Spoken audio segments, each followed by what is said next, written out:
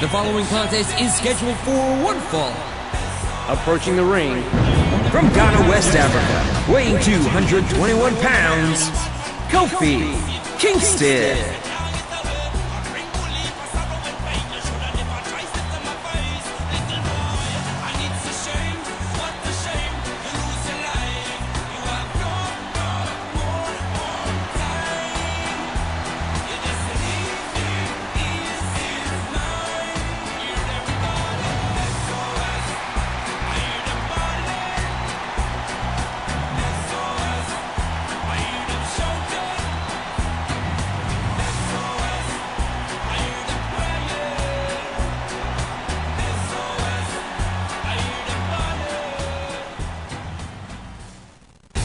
Illinois.